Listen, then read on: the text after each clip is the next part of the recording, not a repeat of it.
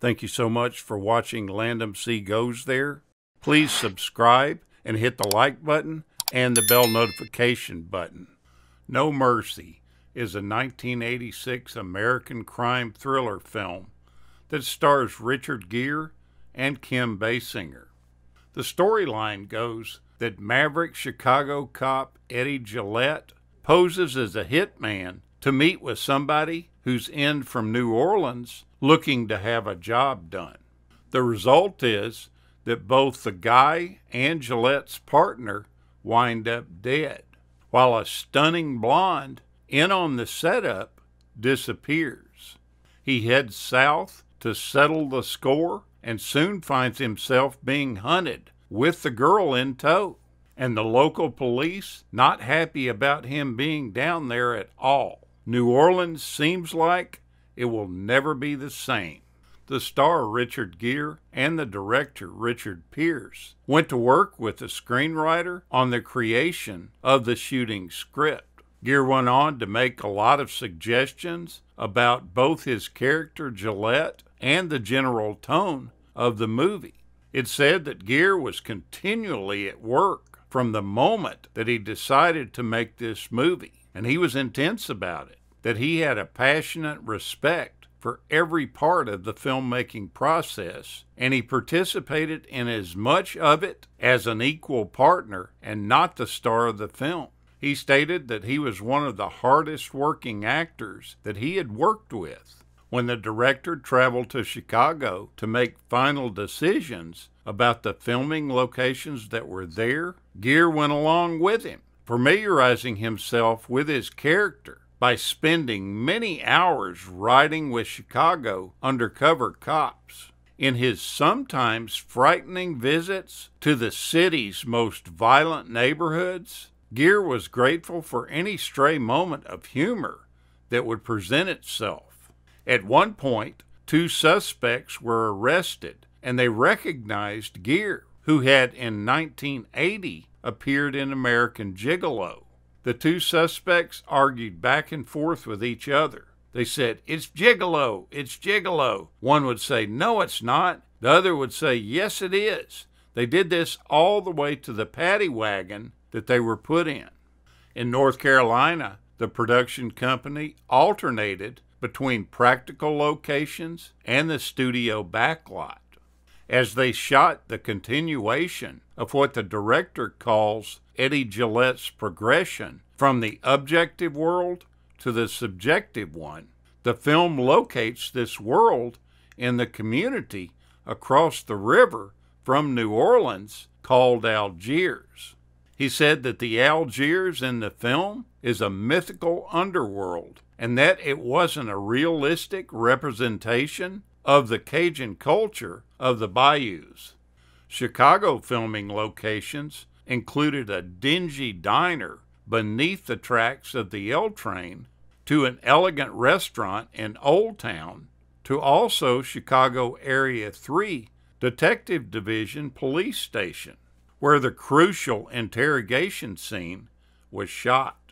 The city's famous and long since vanished stockyards were designed and constructed from scratch along a deserted railroad crossing, and 30 head of cattle were shipped in for the scene that was shot there.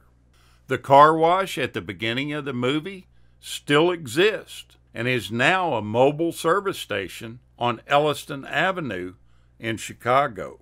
For the Louisiana leg of the shooting, which involved scenes in the Vieux Carre police station, the production designer said that they converted a tourist information society building that had wonderful murals of old New Orleans into their police station. The funny thing about all this is that the building was due to be converted into a real police station and the police department asked the production company to leave some of the counters and fixtures that they used for the film. When a leading lady was on the director and producer's casting agenda, the producer thought that this role needed to be a totally modern equivalent of the great 1940s star in her most famous role in Gilda, and that actress was Rita Hayworth. Maybe he felt this way because the character of Michelle Duval does a torrid dance at the Blue Parrot Club in the film. They felt that Kim Basinger was the only actress who they thought could generate that kind of excitement that Rita Hayworth did, and who could also meet the other demands of this part. You see, the part of Michelle is a wonderful blending of innocence and experience. Someone who has never been outside the control of a man and is barely able to write her name or make a choice for herself. She's a pure creature of instinct in a world of sexual and emotional violence that's almost unimaginable to most of us.